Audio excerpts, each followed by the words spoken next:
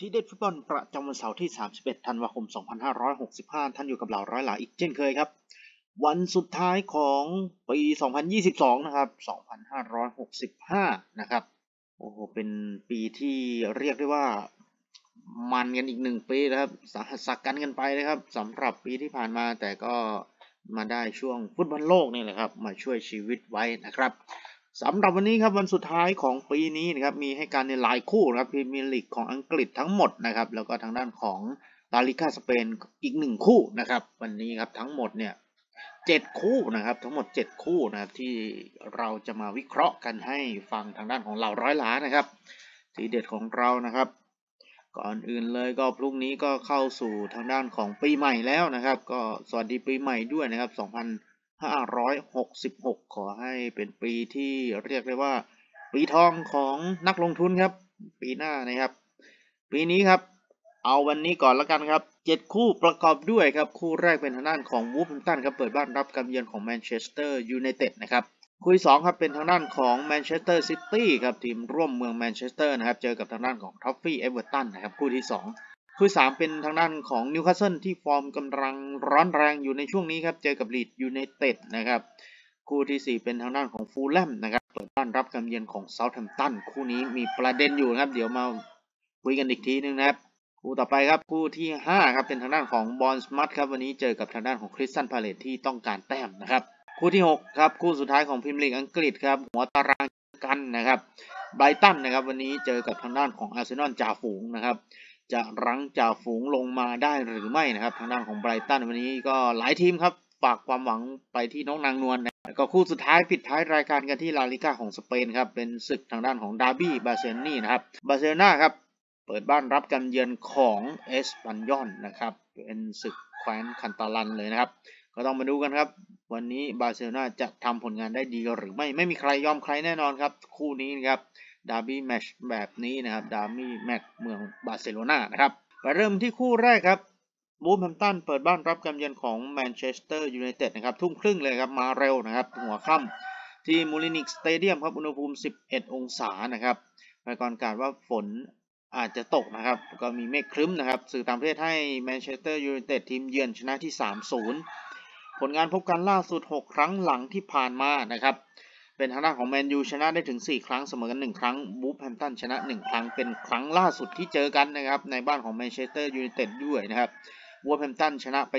1-0 ที่เหลือเนี่ยก็เป็นส่วนมากก็เป็นสกอร์ต่ำนะครับมีสกอร์สูงอยู่นัดเดียวเท่านั้นก็คือแมนเชสเตอร์ยูไนเต็ดบุกไปเยือนแล้วก็ชนะได้2-1 นะครับ ในปี 2021 ก็เป็น 2 ครั้งนะครับพรีเมียร์ลีกแมนยูฤดูกาลที่แล้วก็บุกไปเยือนนะครับ แล้วก็ชนะมาได้ 1-0 ชนะ 2-1 ในบ้านชนะ 1-0 เสมอ 0-0 นะครับ ใน FA ครับก็แมนยูชนะ 1-0 การเดินทางวันนี้จากแมนเชสเตอร์ไปที่วูฟแฮมตัน 98 กิโลเมตรนะครับ ผลงานในตารางของทั้งคู่นะครับ แมนยูอยู่หัวตารางครับ อยู่อันดับ 5 15 นัด 29 คะแนน อยู่อันดับ 5 นะครับ เป็นรองสเปอร์อยู่ 1 คะแนน แข่งน้อยกว่า 1 นัด แล้วก็คะแนนมากกว่าลิเวอร์พูลอยู่ 4 คะแนนนะครับ แข่งเท่ากัน แมนยูก็บวกอยู่ 3 ลูกครับ ทางด้านของวูฟแฮมตันอยู่ในโซนอันตรายเลยนะครับ โซนตกชั้น 16 นัด 13 คะแนน ประตูเสียลบอยู่ 15 ลูกนะครับ ผลงานล่าสุดของทั้งคู่นะครับ ในทางด้านของเจ้าบ้านอย่างวูฟแฮมตันเนี่ย เพิ่งบุกไปเยือนเอเวอร์ตันชนะมา 2-1 ก่อนหน้านั้นเนี่ยชนะจิลลิงแฮมในลีกคัพนะครับ แพ้อาร์เซนอล 2-0 ในบ้าน ในบ้านเนี่ยลงเตะไป 4 นัดนะครับ ชนะลีดส์ยูไนเต็ด แพ้ไบรตันแล้วก็เสมอกับเบรนท์ฟอร์ดครับทางด้านของแมนยูครับมีแพ้แค่นัดเดียวเท่านั้นหลังจากที่ลงสนามไป 6 นัดหลังนี้นะครับนัดล่าสุดนะครับชนะนอตติงแฮมฟอร์เรสต์มา 3-0 ในบ้านก่อนหน้านั้นในลีกครับก็ชนะเบิร์นลีย์มา 2-0 ไปเยือนฟูแลมชนะ 2-1 ชนะแอสตันวิลล่า 4-2 แล้วก็แพ้ให้กับแอสตันวิลล่าในพรีเมียร์ลีกนะครับที่ชนะในชนะในลีกครับแล้วก็ยูโรปาไปเยือนเรอัลโซเซียดาดชนะมาได้ 1-0 นะครับผลงานค่อนข้างดีนะครับแมนยูไปดูตัวผู้เล่นกันต่อครับ เจ้าบ้านวันนี้ที่ลงสนามไม่ได้ตัวหลักอย่างดาเนียลโพเดนซ์นะครับลงสนามไม่ได้แล้วก็ทางด้านของเปโดรเนโตด้วยนะครับรอเช็คความฟิตอีกคนหนึ่งก็เป็นจอห์นนี่ครับกองกลางตัวหลักรวมถึงทางด้านของตราโอเร่ด้วยนะครับที่ลงสนามไม่ได้นะครับก็ต้องมาดูกันนะครับว่าวันนี้วูฟจะมาไม้ไหนทางด้านของแมนยูครับ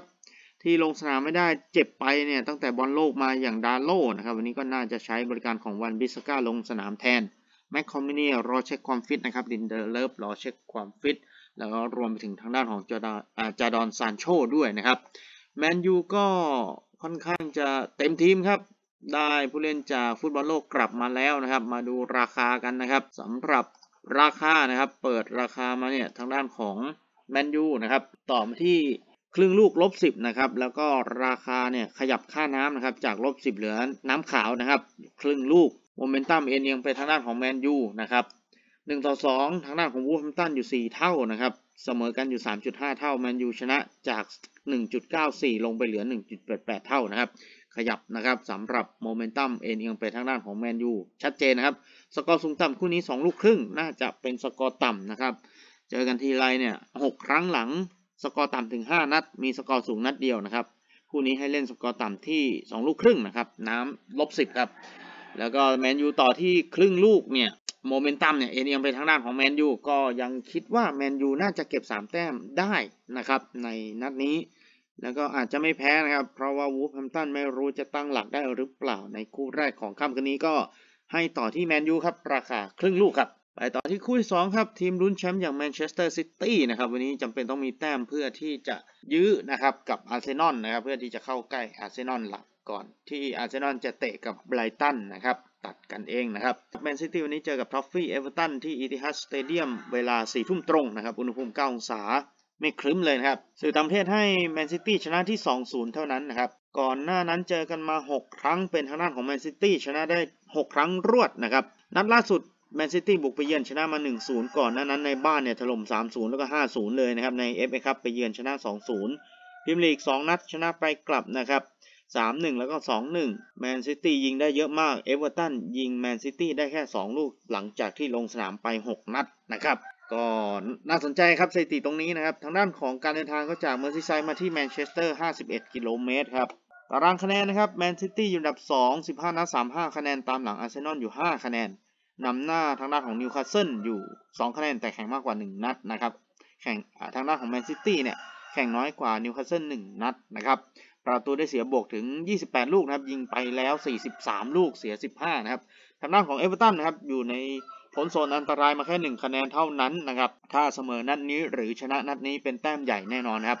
16 นัด 14 คะแนน ประตูได้เสียลบอยู่ 7 ลูกนะครับ ทางด้านของวูฟแฮมตันเนี่ยอยู่อันดับต่ำกว่า แล้วก็คะแนนตามหลัง 1 คะแนนนะครับ เอเวอร์ตันพ้นโซนอันตรายมาแค่ 1 คะแนนเท่านั้น เบียดบี้กับทางด้านของเวสต์แฮมด้วยนะครับ คะแนนเท่ากัน ผลงานล่าสุดของทั้งคู่ครับแมนซิตี้6นัดแพ้นัดเดียวนะครับ ที่เหลือเนี่ยชนะมา 5 นัดนะครับ ชนะ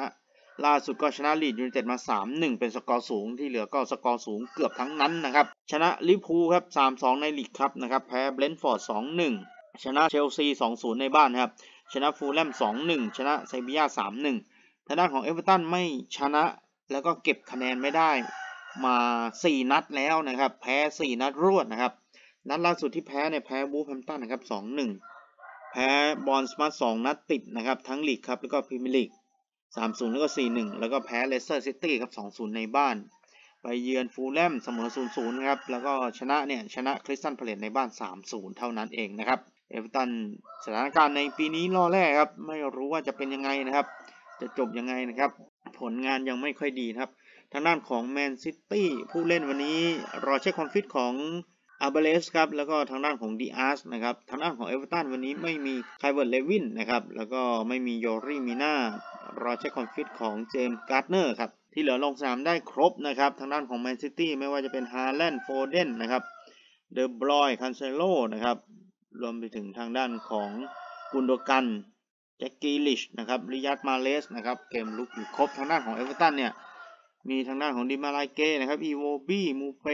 แม็คนีลกอร์ดอนนะครับลงสนามได้นะครับ วันนี้เนี่ยต้องดูราคากันก่อนครับ คู่นี้จะเปิดราคายังไงนะครับ ราคาเป็นทางด้านเจ้าบ้านอย่างแมนซิตี้นะครับต่ออยู่แล้วนะครับ แต่ต่อถึง 2 ลูกควบ 2 ลูกครึ่งนะครับ ในราคาที่เปิดมาราคาล่าสุดอยู่ที่ 2 ลูกครึ่ง น้ำเต็มนะครับทางด้านของเอเวอร์ตันอยู่ที่น้ำลบ10นะครับ1ต่อ2ครับทางด้านของแมนซิตี้กินได้แค่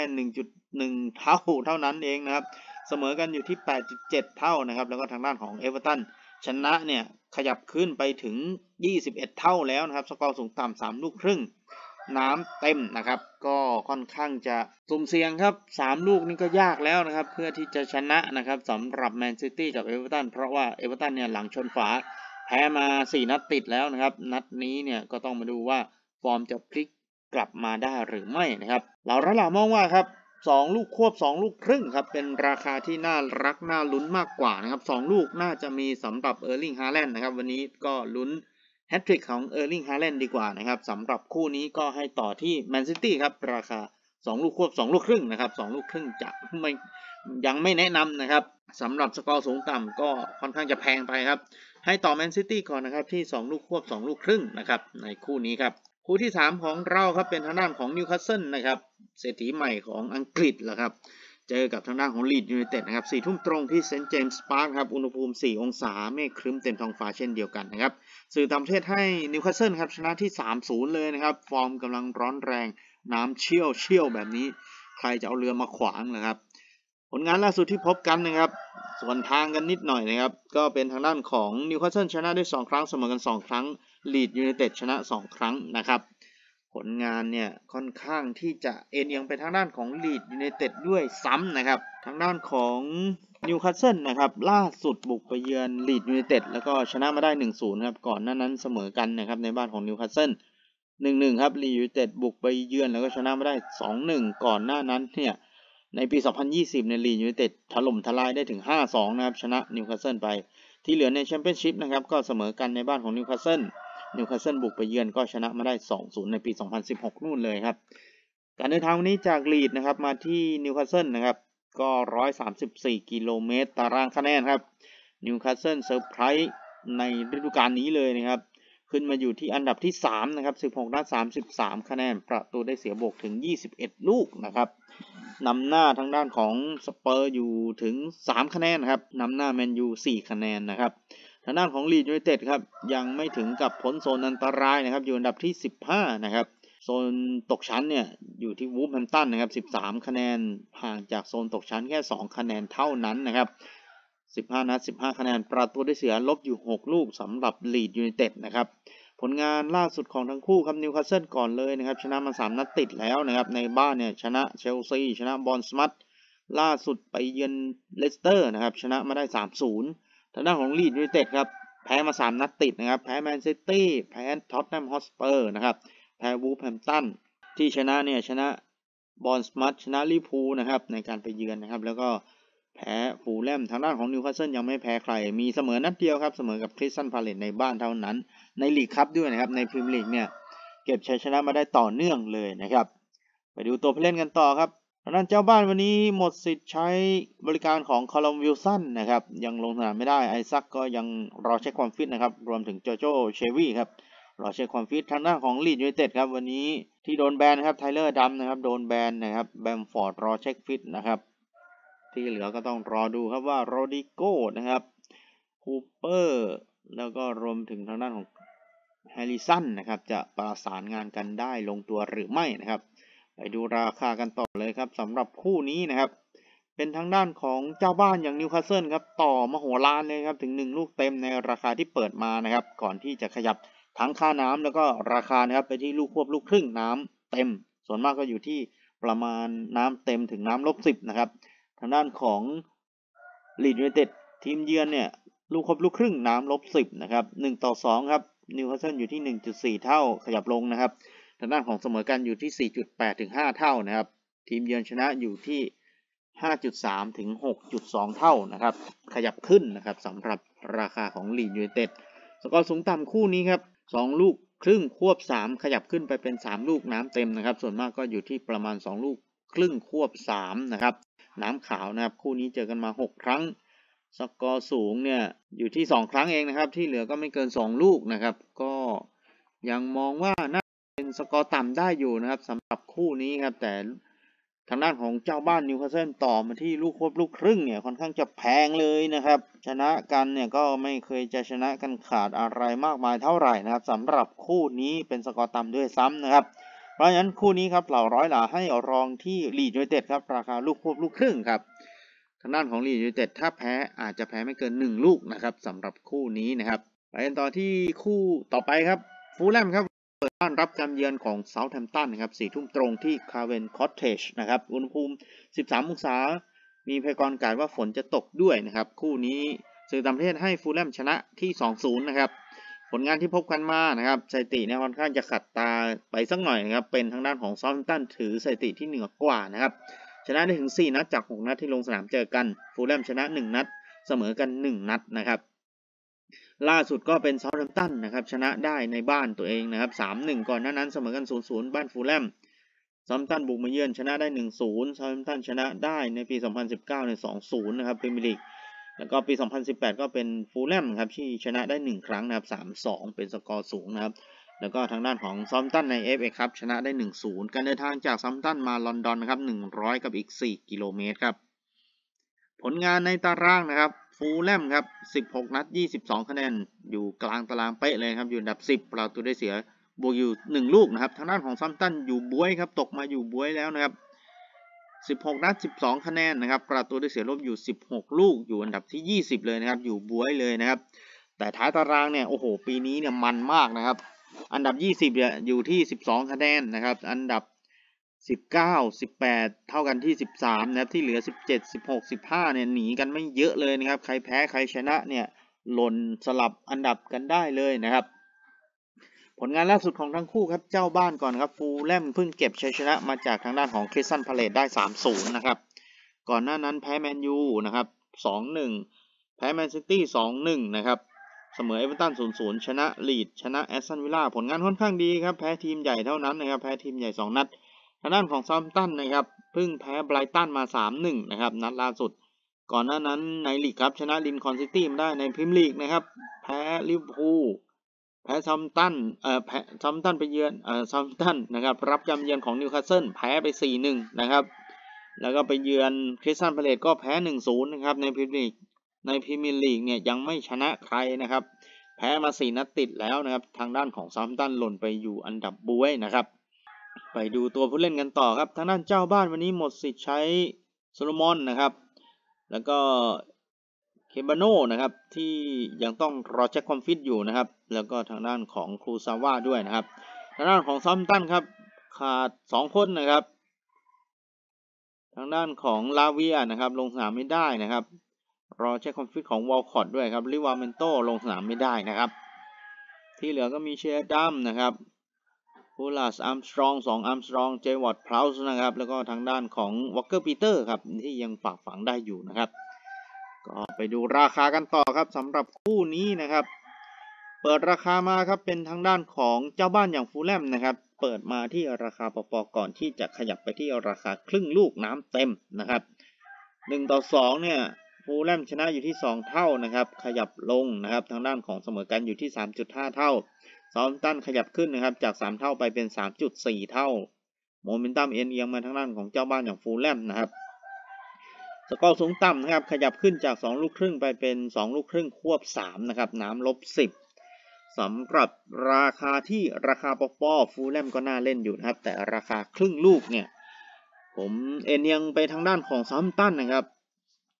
ไม่ว่าจะ ผลงานเนี่ยจะไม่ดีหรือจะอะไรมากมายเท่าไหร่นะครับ ทางด้านของเซาท์แฮมป์ตันเนี่ยก็ยังถือสถิติที่เหนือกว่าทางด้านของฟูลแลมครับเหมือนบอลจะแพ้ทางกัน เพราะฉะนั้นคู่นี้ครับให้รองที่ซัมตันครับราคาครึ่งลูกครับ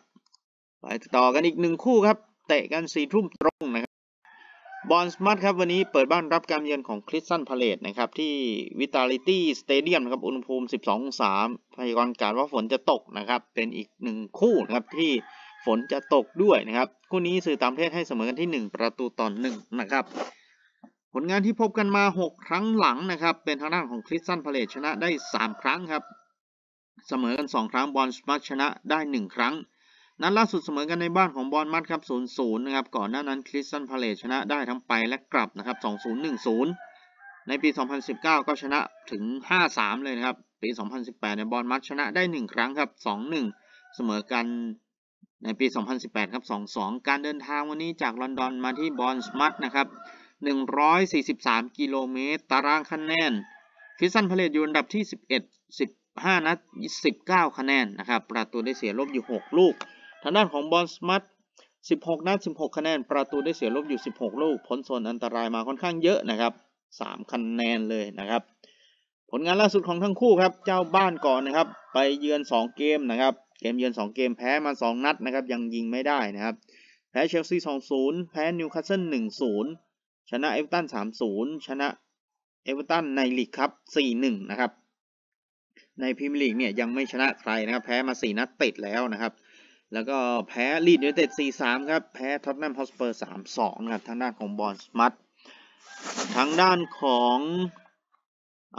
ของบอร์นมัธเนี่ยมีชนะนัดเดียวนะครับ ชนะเอเวอร์ตันนะครับในพรีเมียร์ลีก ในการเป็นเจ้าบ้านนะครับชนะของคริสตัลพาเลซนะครับ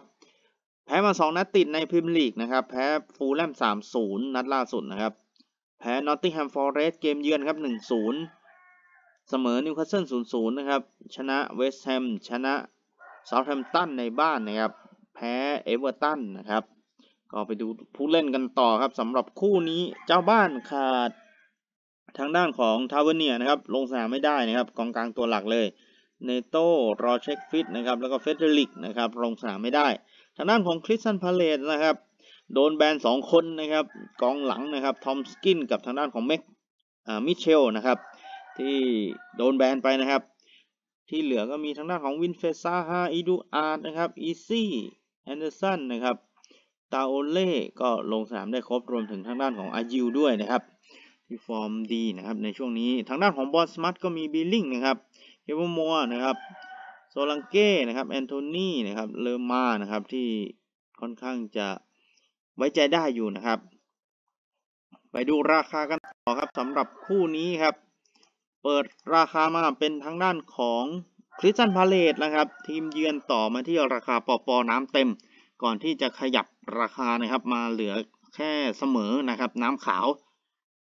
ทางด้านของ 1 ต่อ 2 นะครับ ขยับขึ้นเหมือนกันทั้งคู่นะครับ เจ้าบ้านชนะเนี่ยจาก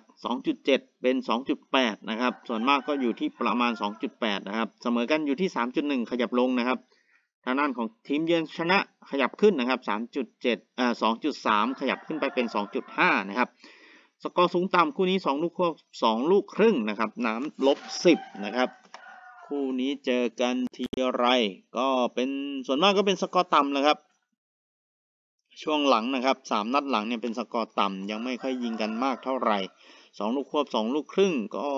ค่อนข้างจะมีลุ้นนะครับ ว่าสกอร์เนี่ยอาจจะอยู่ที่3ลูกได้หรือเปล่านะครับ รวมกันนะครับ แต่ก็ยังไม่แนะนำนะครับใน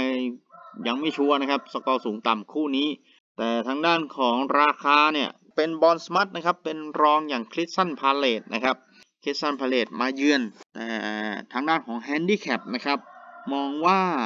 คริสตัลพาเลซได้เปรียบกว่านะครับ มีเปอร์เซ็นต์ที่จะเก็บชัยชนะได้มากกว่า เพราะฉะนั้นคู่นี้ครับ ให้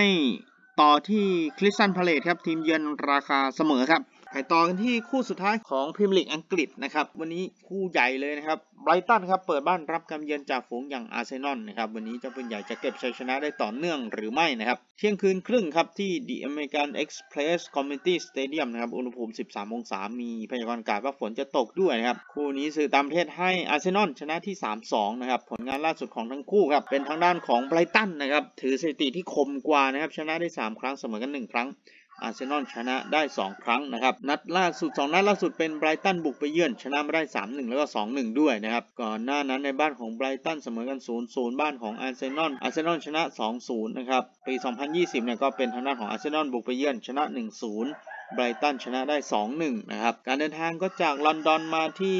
ไบรตันนะครับ ก็ 78 กิโลเมตรเท่านั้นเองนะครับ ตารางคะแนนครับ อาร์เซนอลอยู่อันดับ 1 นะครับ 15 นัด 40 คะแนน ประตูได้เสียบวกอยู่ 24 ลูกนะครับ นำหน้าแมนซิตี้อยู่ 5 คะแนนเลยนะครับ ก็สบายๆนะครับ ทางด้านของไบรตันนะครับ 15 นัด 24 คะแนนอยู่อันดับที่ 7 นะครับ ห่างจากลิเวอร์พูลอันดับ 6 อยู่แค่ 1 คะแนนเท่านั้น แล้วก็มีทางด้านของเชลซีเบียดบี้มาอยู่นะครับ คะแนนเท่ากัน ผลงานล่าสุดของทั้งคู่ครับ ไบรตันนะครับเพิ่งเอาชนะทางด้านของเซาท์แฮมป์ตันมาได้ครับ 3-1 ในการไปเยือนนะครับ ก่อนหน้านั้นในลีกครับครับเสมอชาร์ลตันแอธเลติกนะครับ แพ้ให้กับแอสตันวิลล่า 2-1 ที่เหลือก็เก็บชัยชนะมาได้ครับ รวมถึงทางด้านของการชนะอาร์เซนอลในลีกคัพด้วยนะครับ 3-1 ชนะวูล์ฟแฮมป์ตัน 3-2 ชนะเชลซีในบ้านครับ 4-1 นะครับ ผลงานของอาร์เซนอลบ้างนะครับ 6 นัดหลังเนี่ยแพ้แค่นัดเดียวเท่านั้นก็คือแพ้ให้กับไบรตันแหละครับ ในลีกคัพนะครับ ที่เหลือเนี่ยนัดล่าสุดเก็บชัยชนะ มาจากเวสต์แฮมในศึกลอนดอนดาร์บี้มาได้ 3-1 ก่อนหน้านั้นไปเยือนวูล์ฟแฮมป์ตันครับชนะได้ 2-0 นะครับ ชนะเชลซี 1-0 ชนะ FC ซูริกในยูโรป้าครับ 1-0 ในบ้านนะครับ ชนะนอตติงแฮมฟอเรสต์ได้ถึง 5-0 นะครับ ยิงได้ทุกนัดนะครับทางด้านของอาร์เซนอล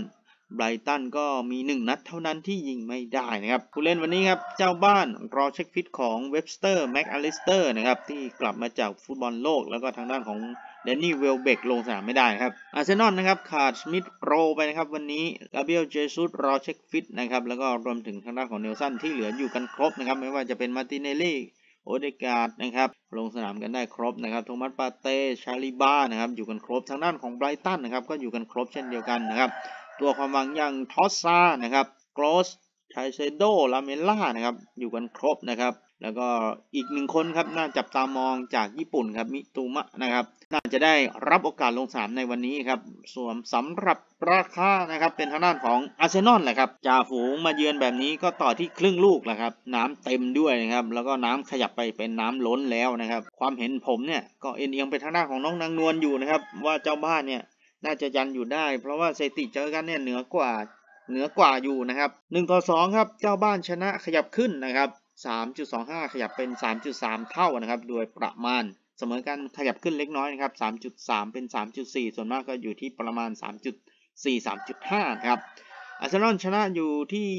2.12 นะครับ ขยับขึ้นมาจาก 2.05 เท่านะครับ สกอร์สูงต่ำคู่นี้ 2 ลูกครึ่งนะครับ น้ำขาวสำหรับ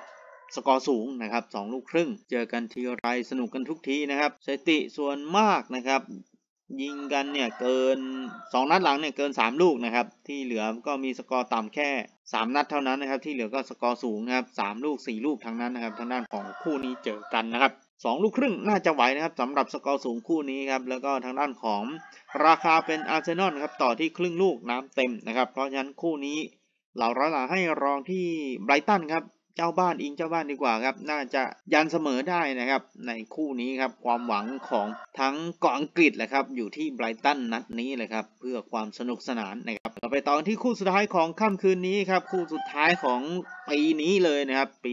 2022 ดาร์บี้แมตช์เมืองบาร์เซโลนาครับเจ้าบ้านครับบาร์เซโลนาวันนี้เปิดบ้านรับการเยือนของเอสปันยอนครับสองทุ่มตรงนะครับที่ Spotify คัมป์นู อุณหภูมิ 17 องศาเมฆครึ้มเลยนะครับ สื่อต่างประเทศให้บาร์เซโลนาชนะที่ 3-0 นะครับ ผลงานพบกันล่าสุดนะครับ 6 ครั้งหลังก็เป็นทางด้านของบาร์เซโลนาชนะได้ 4 ครั้ง เสมอกัน 2 ครั้งนะครับ เอสปันยอนยังไม่ชนะบาร์เซโลนาใน 6 ครั้งหลังที่เจอกันนะครับทางด้านของ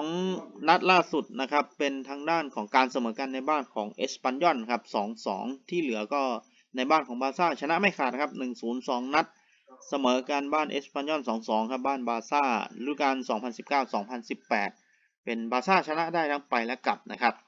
ทีมร่วมเมืองเดินทางแค่ 6 กิโลเมตรเท่านั้นนะครับ ตารางคะแนนครับบาร์เซโลนาอยู่อันดับ 1 14 นัด 37 คะแนน ประตูได้เสีย 28 ลูกครับ ทางด้านของเอสปันยอนอยู่ท้ายตารางนะครับ อยู่โซนตกชั้นนะครับ 14 นัด 12 คะแนนอยู่อันดับที่ 18 ผลงานล่าสุดของทั้งคู่ครับบาซ่านัดล่าสุดชนะโอซาซูน่ามา 2-1 นะครับ เปิดบ้านชนะอัลเมเรีย 2-0 ชนะวิกตอเรียพัลเซน4-2 ชนะบาเลนเซีย 1-0 ที่แพ้ก็แพ้บาเยิร์นมิวนิกนะครับ ในลีกก็ชนะแอธเลติกบิลเบา4-0 ในบ้านนะครับ เอสปันยอนนะครับบอลถ้วยเอาตัวรอดมาได้ชนะ 2 นัด ในลีกเนี่ย แพ้บียาร์เรอัลนะครับ 1-0 ที่เหลือเสมอแอตเลติโกมาดริด1-1 เสมอเรอัลมายอร์ก้า1-1 แล้วก็เสมอกับเอลเช่ครับ 2 ประตูต่อ 2 นะครับ ผู้เล่นวันนี้ครับเจ้าบ้านขาดเคสซี่นะครับอเราโฮเซร์จิโรแบร์โต้นะครับลงสนามไม่ได้ 3 คน ที่เหลือก็ลงสนามได้ครบนะครับตัวหลักอย่างเลวานดอฟสกี้เดมเบเล่ฟาติบัลเด้นะครับรวมถึงทางด้านของแฟรงกี้เดอยองด้วยนะครับทางด้านของเอสปันยอนวันนี้ขาดบาเล่นะครับแล้วก็รูเบนซานเชสครับลงสนามไม่ได้นะครับไปดูราคากันต่อครับ สำหรับคู่นี้ครับ เปิดราคามาเป็นทางด้านเจ้าบ้านนะครับ อยู่ที่ลูกครึ่งควบ2นะครับ น้ำเต็ม แล้วก็ขยับไปที่ 2 ลูกน้ำลบ10 เลยนะครับ ค่อนข้างจะไกลทีเดียวนะครับสำหรับราคาที่ขยับไป 1 ต่อ 2 บาร์เซโลนาขยับลงนะครับจาก 1.28 เท่า เหลือ 1.19 เท่านะครับ ทางด้านของการเสมอกันขยับขึ้นนะครับ 5 เท่าเป็น 7 เท่า แล้วก็ทางด้านของเอสปันยอนชนะเนี่ย จาก 8.5 เท่า 9 เท่าเนี่ยขยับขึ้นเกิน 10 เท่าไปแล้วนะครับ 11.5 ถึง 13 เท่านะครับ สกอร์สูงต่ำคู่นี้อยู่ที่ 3 ลูกควบ 3 ลูกครึ่ง ไกลอีกแล้วนะครับ ค่อนข้างจะไกลทีเดียวนะครับสำหรับราคาสกอร์สูง คู่นี้อาจจะแนะนำให้เป็นสกอร์ต่ำแล้วครับ บาร์เซโลนายังไม่เข้ารูปเข้ารอยเท่าไหร่นะครับ ราคาเป็นทางด้านของบาร์ซ่านะครับ อยู่ที่ลูกครึ่งควบ 2 เนี่ยยังน่าสนใจอยู่นะครับ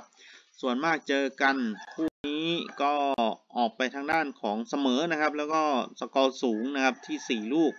6 นัดหลังเนี่ย4ลูกเนี่ยมี 3 นัดนะครับ ที่เหลือสกอร์ต่ำเป็นบาซ่ายิงได้ฝั่งเดียวนะครับก็ส่วนมากก็เป็นทางด้านของบาซ่ายิงนะครับ แล้วก็เอสปันยอนตั้งรับ เพราะฉะนั้นคู่นี้ครับลูกครึ่งควบ 2 ถือว่าไม่แพงนะครับ ให้ต่อที่บาซ่าครับราคาลูกครึ่งควบ 2 ครับ แล้วก็สกอร์ต่ำนะครับ ครบจบเรียบร้อยครับทั้งหมด 7 คู่ของค่ำคืนนี้ครับวันสุดท้ายของปี 2022 นะครับ ขอบคุณที่ติดตามรับชมรับฟังช่องทางของเหลาร้อยหลานะครับ แล้วก็ฝากอีกหนึ่งช่องทางนะครับไลน์แอดของเรานะครับ at sign ครับ 100 RA นะครับแอดกันเข้ามาได้นะครับ ก่อนจากลาวันนี้ ทบทวนกันอีกทีหนึ่งครับ 7 คู่นะครับ คู่แรกครับวูล์ฟแฮมป์ตันกับแมนเชสเตอร์ยูไนเต็ดแมนยูต่อครึ่งลูกให้ต่อที่แมนยูนะครับ ครึ่งลูก2แมนซิตี้กับ เอเวอร์ตันนะครับ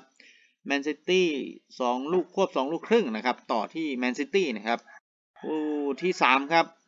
นิวคาสเซิลกับลีดส์ยูไนเต็ดนะครับ เป็นทางด้านของนิวคาสเซิลต่อ ราคาเนี่ยขึ้นไปถึงลูกครึ่งควบลูกควบลูกครึ่งนะครับ คู่นี้ให้รองที่ลีดส์ยูไนเต็ดนะครับ ราคาลูกควบลูกครึ่งนะครับ คู่ต่อไปครับฟูแล่มกับทางด้านของเซาท์แฮมป์ตันนะครับ เป็นทางด้านของ ฟูแล่มนะครับต่อที่ปอปอแล้วก็ขยับไปที่ครึ่งลูกให้รองที่เซาท์แฮมป์ตันนะครับสถิติมันข่มกันนะครับให้รองที่เซาท์แฮมป์ตันครึ่งลูกครับคู่ต่อไปบอร์นมัธกับคริสตัลพาเลซนะครับเป็นทางด้านของคริสตัลพาเลซต่อที่ราคาปอปอก่อนที่จะไหลมาที่ราคาเสมอน้ำขาวนะครับคู่นี้ให้ต่อที่คริสตัลพาเลซนะครับราคา เสมอน้ำขาวนะครับ คู่สุดท้ายของพรีเมียร์ลีกอังกฤษนะครับไบรตันกับอาร์เซนอลนะครับเป็นทางด้านของอาร์เซนอลครับต่อที่ราคาครึ่งลูก คู่นี้ให้รองที่ไบรตันนะครับลุ้นที่เจ้าบ้านนะครับยันเสมอนะครับรองที่ไบรตันราคาครึ่งลูกน้ำขาวครับแล้วก็คู่สุดท้ายครับบาซ่ากับทางด้านของเอสปันยอนเป็นบาร์เซโลนานะครับเจ้าบ้านเนี่ยเปิดราคาที่ลูกครึ่งควบ 2 ขยับขึ้นไปที่ 2 ลูกนะครับให้ต่อที่บาซ่าครับลูกครึ่งควบ 2 นะครับ คู่นี้นะครับ แล้วก็สกอร์ต่ำด้วยนะครับ คู่สุดท้ายของค่ำคืนนี้ครับ ขอบคุณอีกครั้งหนึ่งนะครับ ที่รับชมช่องทางของเรามานะครับ ปีหน้าเนี่ยรับรองนะครับ มีทีเด็ดส่งตรงถึงท่าน แล้วก็อำนวยความสะดวกให้ท่านผู้ชม แล้วก็นักลงทุนนะครับ ให้ดีเลิศประเสริฐสียิ่งกว่านี้ แล้วก็แม่นยำกว่านี้นะครับสำหรับปีนี้ขออนุญาตนะครับ สวัสดีปีใหม่ด้วยนะครับ พรุ่งนี้กลับมาพบกันใหม่นะครับมี ที่เด็ดส่งตรงถึงท่านอีกเหมือนเดิมครับทุกวันครับสำหรับวันนี้สวัสดีครับ